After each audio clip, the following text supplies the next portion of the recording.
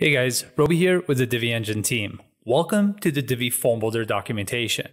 In this video, we're going to be taking a look at the various email options you'll find in the Divi Form Builder. So let's get right to it. Okay guys, so here we are in the backend of a page that I created earlier along with the form I created with the Divi Form Builder plugin. I'm just going to go into visual mode because I always am so impressed by the ability of this plugin to be Visual Builder compatible. Now I'm just going to go into the settings of this form module. And here we'll see the different fields that we've added, but let's get to the part we're interested in. But you'll see two email options here with various settings underneath it. You'll have the, of course, the email notification and email confirmation. Now, the email notification is the one that you'll use for the person that will be receiving the submitted form. Now, this could be an admin to the site, the site owner, or even if you're using something like advanced custom fields, you can use a field from there and it could maybe go to a user like a real estate agent. Now, the email confirmation option, this just gets sent to the person that filled out the form as a confirmation that the form was submitted. But yeah, we're to get a little bit more into detail on both of these right now. Alrighty, so we're to kick off by looking at the email notifications. When we expand the settings here, you'll see a bunch of different fields that you can fill out and settings that you can use. We're going to start from the top here with the send to email address. Now remember, these are the emails that get sent to whoever should be receiving the email. So here we can see that admin email, the one that's configured in your WordPress settings, is the default option. You can also select the author of the current post if that's different from the admin, or you can select uh, advanced custom fields within the current post. So that's pretty awesome. You can also select custom and you can just go ahead and type in your own um, email address in there that you would like these emails to be sent to.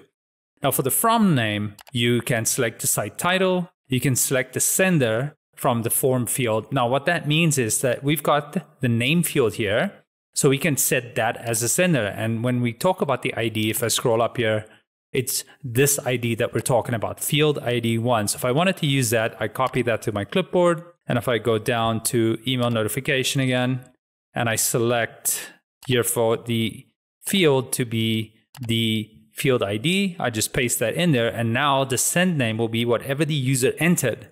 Now, the same goes for the from email. You've got the admin setting, you've got the sender. So you can go look up this ID right here or you can just select a custom one. That's entirely up to you. So a few different things that you can do here, all very customizable to your specific need. Now for the email subject, you can go ahead and type in anything that you need or want in there. And then for the email template, you can actually use HTML to mark up any type of template that you want you can go ahead and pull in variables by using and field IDs with the notation of percent percent field underscore ID or whatever that is similar to what we did up here when we set the site title. So if I wanted to go ahead and copy that field ID and I wanted to use the sender's name here, I might say something like um, use percent percent notation, put that field ID in there, and I might say, hi, and then the person's name you know so that would be a great use for this um, other things that you can use is any of the other fields that you used up here so the email you can put the message in there it's entirely up to you how you utilize this it's very customizable and just gives a nice touch when people are receiving emails from your Divi form forms. Okay, so next up, we've got the email confirmation. Now, we already talked about how this is different from the notification. Notifications goes to somebody affiliated with your site the confirmation will go to the person that submitted the form. Now by default, this is set to off, but you can switch it on. And now you'll see a lot of fields that already look familiar because we just went over these. So for the send to email, you can go ahead and pick whether it is a logged in user, or you can select that form field. And again, we'll just go find this email's ID.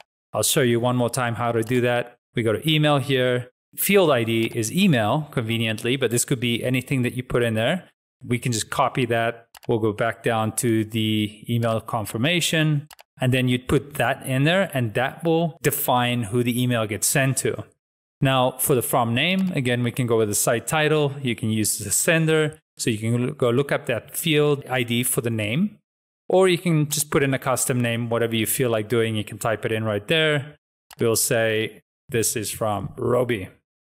And then next up, we'll see the from email. That's going to be admin by default, but you can customize that if you have a little bit more of a bespoke um, email address you'd like to use, or maybe just one that you want to use specifically for this purpose.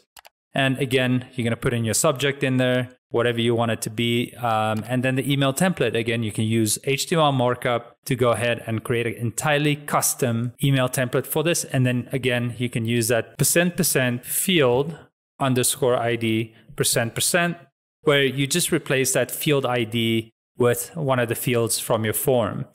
And that is pretty much all there is to know about the email confirmation settings. And guys, yeah, that's pretty much it, man. Um, we went through the two different types of email settings you find in the Divi Form Builder 4 module email confirmations and the email notifications. Both have very different use cases for your site. Once activated by default, that'll be our email notification. And the other one, which is the confirmation, which is sent to your users, which you can choose to use or not. But that's it for this quick overview of the email options you'll find in the Divi Form Builder plugin. Guys, this was Roby with the Divi Engine team. I thank you for your time and definitely submit a support ticket if you get a little bit stuck or check out the documentation at help.diviengine.com. Thank you guys. Bye for now.